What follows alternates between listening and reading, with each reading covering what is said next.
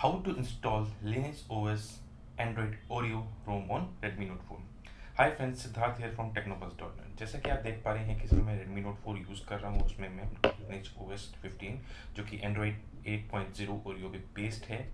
उस पर वो रन कर रहा है, इसमें मोस्टली सभी फीचर्स काम कर रहे हैं वो भी काम कर रहा है नेटवर्क्स भी काम कर रहे हैं, लगभग सभी चीज़ें काम कर रही हैं मेरे लिए इसमें। कोई छोटे मोटे बग्स हैं बट वो ठीक हो जाते हैं बट तो एक तरीके से देखा जाए तो स्टेबल रोम है, उसको आप आसानी से अपने रेडमी नोट फोर में इंस्टॉल कर सकते हैं। उसके लिए सिर्फ़ करना क्या है कि आपका जो फ़ोन है वो रूटेड होना चाहिए और T W R P recovery इसमें इंस्टॉल होनी चाहिए। तो आज मैं आपको दिखाऊँगा कि कैसे आप इस वर्जन को जो Android eight point zero Oreo पे बेस्ड है, उसको कैसे अपने रेडमी नोट फोर में इंस्टॉल करें।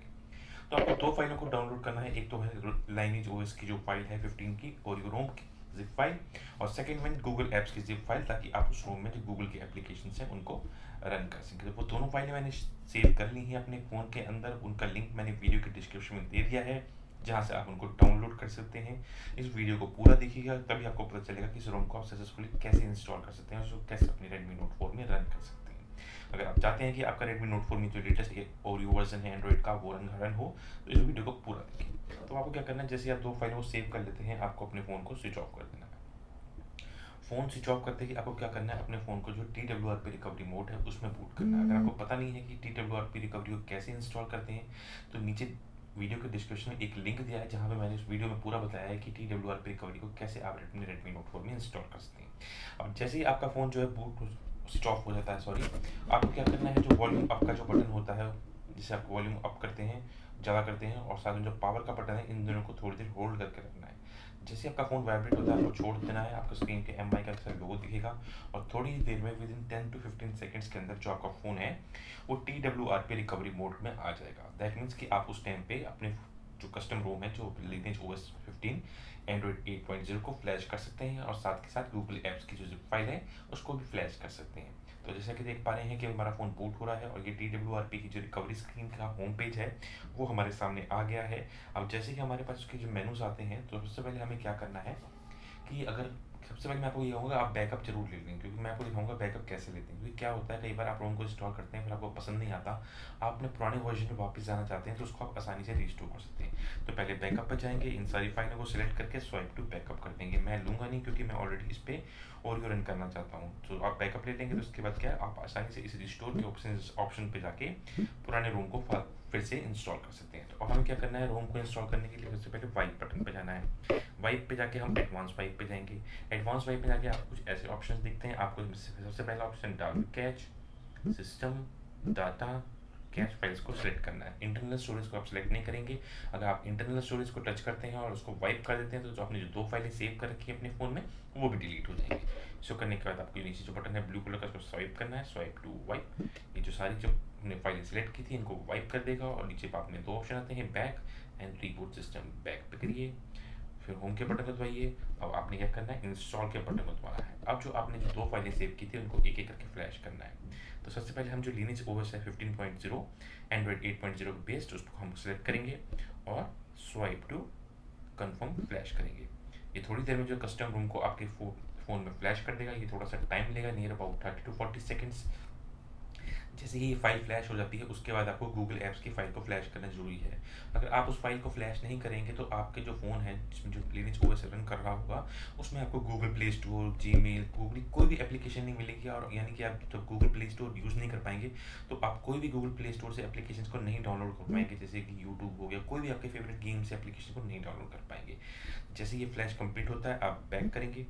आप जो ओपन जी की फ़ाइल है इसको सिलेक्ट करेंगे जो जी की हमने फ़ाइल डाउनलोड करके है उसको सिलेक्ट करके स्वाइप टू कन्फर्म फ्लैश कर देंगे। अब क्या होगा, आप देखेंगे कि ये थोड़ी देर में जो गूगल के एप्लीकेशन है, उनको एक एक करके इंस्टॉल करेगा। ज़्यादा एप्लीकेशन इंस्टॉल नहीं करता है मोस्टली कुछ जो मेन एप्लीकेशन है जी मेल गूगल सर्च और गूगल प्ले स्टोर को इंस्टॉल करता है। बाकी आप गूगल प्ले स्टोर में लॉगिन करके जो अपने फेवरेट एप्लीकेशन हैं गूगल की बाकी जैसे यूट्यूब हो गया गूगल ड्राइव हो गया, जो भी है, आप उनको अपने फ़ोन में इंस्टॉल कर सकते हैं। तो इन सब एप्लीकेशन को इंस्टॉल करने के लिए आपको गूगल प्ले स्टोर चाहिए होता है। तो गूगल प्ले स्टोर को अपने फ़ोन में रन करने के लिए आपको ये जी एप्स की फ़ाइल को इंस्टॉल करना यानी कि फ्लैश करना बहुत ज़रूरी है। अदरवाइज़ आप गूगल कोई भी सर्विसेज़ को इसमें यूज़ नहीं कर पाएँगे। तो जैसे कि आप देख पा रहे हैं एक एक करके सारी फाइलें फ्लैश हो रही हैं। Calendar Google dialog framework exchange सब कुछ गूगल सर्विस फ्रेमवर्क जिस पर रन करता है गूगल की सारी सर्विसेज़ उस सारी फाइलों को एक एक करके इसने इंस्टॉल कर दिया है। जैसे बने रहिए मैं आपको पूरा दिखाऊँगा फ़ोन को स्टार्ट करके इसमें कैसे कैसे काम करता है ये और कैसे आसानी से हम इसको अपने रेडमी नोट फोर में इंस्टॉल कर सकते हैं। हाँ अगर आपको इस वीडियो के दौरान कुछ भी कोई प्रॉब्लम लगती है आपको समझ में नहीं आता है तो नीचे जो हमारा जो कमेंट सेक्शन है आप उसमें जाके कमेंट लिख सकते हैं और हमें बता सकते हैं आपको कहाँ प्रॉब्लम आ रही है। मैं खुद पर्सनली इस पर कमेंट करके आपकी उस प्रॉब्लम को फिक्स करूँगा। अब जैसे कि आप देख पा रहे हैं कि जो फ़ाइल है वो फ्लैश हो गई है। नीचे आप देख पा रहे हैं वाइप कैश डाल भी एंड रिबूट सिस्टम आप एक वाइप कैश एंड डाल भी करके स्वाइप टू वाइप कर दीजिए एक बार। For the safe side and now reboot system do not install so अब जो आपका फ़ोन बूट होगा और जो फ़र्स्ट बूट होता है, हमेशा थोड़ा सा टाइम लेता है क्योंकि आपके सिस्टम में से कुछ चेंजेस करने पड़ते हैं। पहले आपको एम का लोगो दिखेगा, क्योंकि कंपनी का लोग बूट स्क्रीन है। इसके बाद आपको जो लिनेज ओ एस फिफ्टीन का है एंड्रॉइड एट पॉइंट ज़ीरो उनकी बूट स्क्रीन आपको दिखेगी। जैसे ही स्क्रीन आपको दिखती है दैट मीन्स कि आपने जो रोम है, वो सक्सेसफुली अपने रेडमी नोट फोर में इंस्टॉल कर लिया है। मैं आपको पूरा दिखाऊँगा ये वीडियो एंड तक कि कैसे इसको इंस्टॉल किया जाता है और कैसे देख पा रहे हैं आप। अब जो बूट स्क्रीन के ऊपर आप देख पा रहे हैं, जो लिनोज ओ एस फिफ्टीन का जो बूट स्क्रीन है, वो आ गया है। अब ये थोड़ा सा टाइम लेगा। तो आप बने रहिए, मैं आपको पूरा दिखाता हूँ। हम थोड़ा सा वेट करते हैं इसको सेटअप करने के लिए। नाउ अब आप देख सकते हैं कि जो हमारा जो फ़ोन है, वो बूटेड हो चुका है। मैं वेलकम स्क्रीन आ चुकी है। लेट्स गो की तो हम आगे चलते हैं और फ़ोन को सेटअप करते हैं। क्योंकि आपको सारी चीज़ में सेटअप करनी पड़ेगी। आपको लैंग्वेज वगैरह जो कुछ भी है, जैसे आप देख पा रहे हैं, हमारे जियो सिम और एयरटेल का सिम आ गया है इसमें।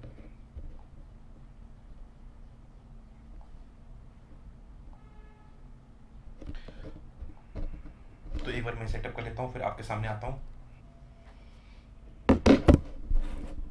तो हमने फ़ोन को सेटअप कर लिया है, सारे हमने इसमें वाईफाई पासवर्ड वगैरह सब कुछ में डाल दिया है, जो आप देख पा रहे हैं इसमें।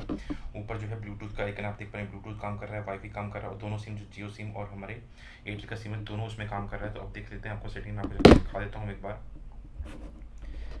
कौन सा फ़ोन ये देखिए सिस्टम है हमारी ये। आप देख पा रहे हैं अबाउट फ़ोन में रेडमी नोट फोर है। जो सिस्टम अपडेट्स अबाउट फ़ोन में जाएँगे Android version 8.00 model number Redmi Note four और कुछ सेटिंग्स देख लेते हैं इसमें क्या क्या काम कर रहा है इस टाइम पे। तो ये इसका नेटवर्क है इंटरनेट कनेक्शन है, सारा का सारा मोबाइल नेटवर्क वगैरह जो कुछ भी है इसमें आप देख पाते हैं। सॉरी इसमें एल मोड है वोल्ट का सिम इसमें काम कर रहा है जियो का सिम में कोई प्रॉब्लम नहीं आ रही है, बिल्कुल ठीक तरीके से चल रहा है। आप यहाँ से जाकर इसको चेंज कर सकते हैं, अगर कोई और सिम है तो। मतलब वो सभी चीज़ें काम कर रही हैं हॉटस्पॉट भी इसमें काम कर रहा है, मैंने चेक कर लिया है वो। सारी सिम दोनों सिम अच्छी तरीके से काम कर रहे हैं। एक तरीके से पूरा स्टेबल रूम है, कोई प्रॉब्लम नहीं आ रही है इसको इंस्टॉल करने में। सिर्फ़ आपको क्या करना है, दो फाइलों को फ्लैश करना है और आसानी से आप अपने रेडमी नोट फोर में जो इस एंड्रॉइड ओरियो जो लाइनी जो ओ एस रोम है, उसको इंस्टॉल कर सकते हैं। तो उम्मीद करता हूँ आपको हमारा आज की ये वीडियो गाइड पसंद आई होगी। और ऐसे वीडियो गाइड अपडेट्स पाने के लिए। हमारे चैनल को सब्सक्राइब करना ना भूलें, इस वीडियो को लाइक करें कमेंट करें और शेयर करें। हाँ अगर कोई भी प्रॉब्लम लग रही है, आपको नहीं आ रहा समझ में, कहीं कोई दिक्कत आ रही है, कहीं किसी स्टेप पे आप अटक गए या कुछ समझ में नहीं आ रहा है तो नीचे कमेंट करें, मैं आपकी पूरी हेल्प करूँगा उसको सॉल्व करने के लिए। Thank you take care bye